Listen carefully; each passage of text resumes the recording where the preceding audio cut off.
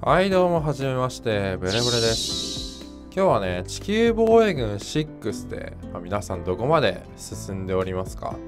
まあ、そんなね地球防衛軍6なんですけどこれ今ね今レンジャーですらハードを全部クリアしてない状態なんですけど、まあ、このハードをクリアしていくとどんどんどんどんね、達成度がね、上がっていくんですよね。まあ皆さんね、今2桁、まあ10%、20%ぐらいいってる方がほとんどなんじゃないでしょうか。ただね、これを70%以上にしないと、達成度を上げて、そのオンラインでね、今武器とか制限されてると思うんですけど、それを解除することがね、できないので、それをね、効率よく上げていく方法をね、皆さんにお伝えしたいと思います。よかったらね、チャンネル登録、高評価よろしくお願いいたします。ではね、本編行ってみましょう。はい、結論から言いますと、ぼっちでね、画面分割でプレイすることなんですけど、まあ、特に PS5 の方向けにね、軽くやり方を説明しようかなと思います。私もね、PS51 個しかコントローラーなくて、まあ、PS4 のコントローラーあればできるじゃんと思ってやったんですけど、まあ、ちょっとね、コツがいるので、それをね、今からご説明したいと思います。まあ、いつも通りね、タイトル画面から、まあね、セーブデータを選んでもらいますと。はい、そしたらね、画面分割2人でプレイをね、押してください。そうするとね、プレイヤーにどれですかって聞かれるので、まあ、PS4 のね、コントローラーをお持ちの方はね、ここで PS4 で電源を入れて、×ボタンを押します。で、そして、ここでね、えっと、自分のメインがこの野菜の栄養なんですけど、このアップル小豆か、まあゲストでもいいんですが、それを選んじゃうと、PS5 はね、デュアルデュアルショックのコントローラー、PS4 のコントローラー使えないと言われますね。でこうなると積みです。はい、ではね、どうするかというと、まあ、最初の先ほどの画面で、今ログインしてるもので PS4 のコントローラーを使いますと言います。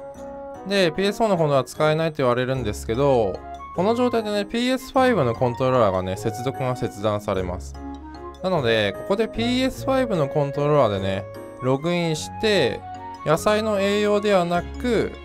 Apple 小豆、まあ、皆さんはね、サブ赤でね、ログインしてもらうと、このようにね、ログインすることができて、これがプレイヤー2としてね、参加できるようになりますと。でね、注意点としては、プレイヤー2っていうのは、まあ、セーブデータの更新やトロフィーの獲得ができないので、まあ、あくまでもプレイヤー1のお手伝いという感じですね。はい、ここからはね、軽く注意点ですね。まあ、注意点1つ目としては、まあ、プレイヤー2は、ま、プレイヤー1、ま、メインアカウントの武器とか装備をね、すべて使用できます。なんで P1、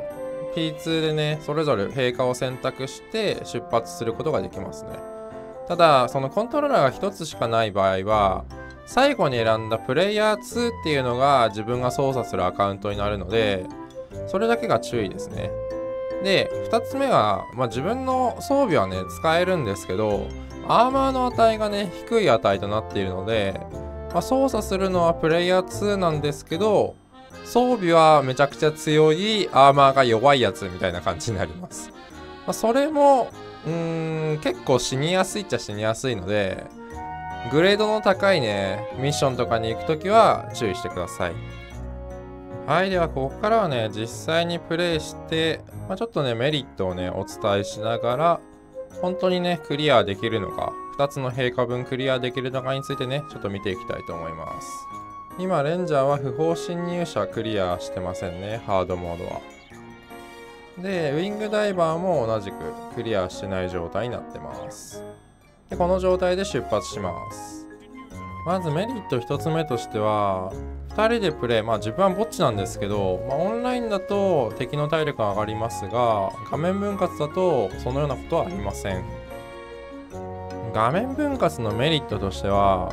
まあ、当然2人分のね、まあ、2つ分の陛下についてクリア判定が出るのはね冒頭でお話しした通りなんですけど、まあ、アーマーとか、まあ、装備についても、まあ、普通だとね自分が出撃した陛下ソロプレイだと例えばエアレイダー、まあ、自分メインでやってるんですけど、まあ、エアレイダーについては自分が出撃してるんでねアーマーの値とか、ま、装備は充実していくと思うんですけど他の陛下についてはクリアしたりボックスを取っても、まあ、ビビたるものがね、取得できると思います。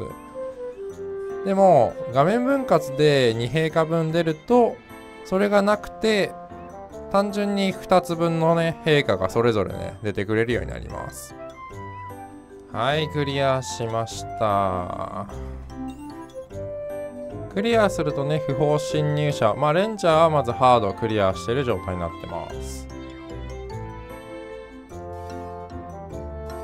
でね、ウィングダイバーについても、不法侵入者クリアしてる状態になってます。はい。はい、ではいかがだったでしょうか。今日はね、達成度を効率よく達成していく方法と画面分割の仕様についてのお話でした。まあ、正直な話、コントローラー2つあるんだったら、単純にコントローラー2つ使ってね、プレイするというか、まあ普通にプレイヤー1で、ね、プレイすることができるので、まあ、自分みたいな苦労はないのかなと思います。コントローラー変えようって話ですね。少しでもね、参考になったよ、面白かったよって思った方はね、チャンネル登録、高評価してくれると幸いでございます。ではね、また次の動画でお会いしましょう。バイバイ。